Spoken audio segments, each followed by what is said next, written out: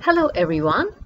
Uh, today in my new sharing, I'm going to talk about uh, the International Space Station. This International Space Station has been orbiting our planet since 1998. It's being powered by solar energy, as you can see the solar panels on its sides. Now this energy is necessary to power the six laboratories and all the living space on board. It's about the size of an American football field. The ISS has two bathrooms, a gym, and more than a six bedroom house. It's that big. For most locations on Earth, assuming you have clear night skies, you can see ISS for yourself. Uh, from Earth, if you look up and it's a clear bright sky, you can see the ISS like a bright star moving quickly from horizon to horizon.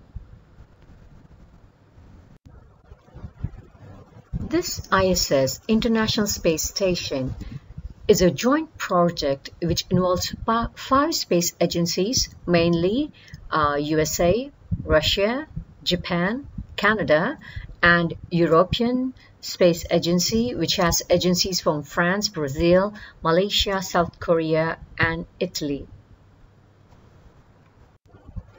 Astronauts float around in space because there is no gravity. Everyone knows that the farther you get from Earth, the less the gravitational force is. Well, astronauts are so far from the Earth that gravity is so small. That's why NASA calls it microgravity. At one time, there were around 13 astronauts in the space station. Bit crowded, isn't it?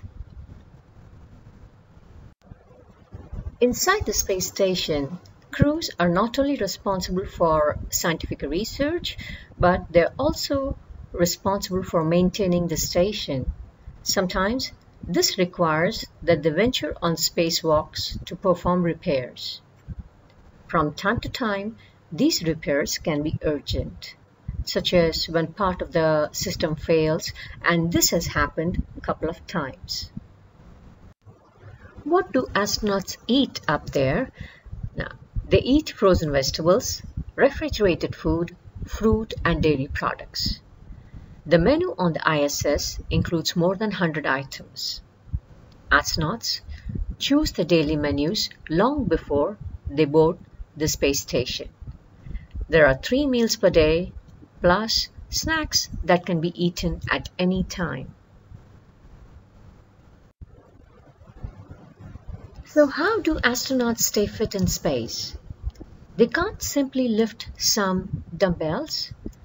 To minimize the effects of microgravity, NASA has equipped the ISS with some fancy fitness equipment. There's a treadmill, a stationary bike, and device that stimulates weightlifting. SpaceX made history flying NASA astronauts Doug Hurley and Bob Behnken to space aboard its Crew Dragon spacecraft using a Falcon 9 rocket. The launch titled Demo.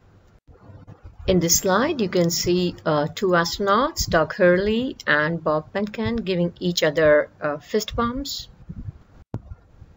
Here you see NASA astronauts, they arrived at the International Space Station and they joined Expedition 63 with other astronauts. This is the end of my presentation. And if you want to know more about uh, the International Space Station and its latest research, please log on to NASA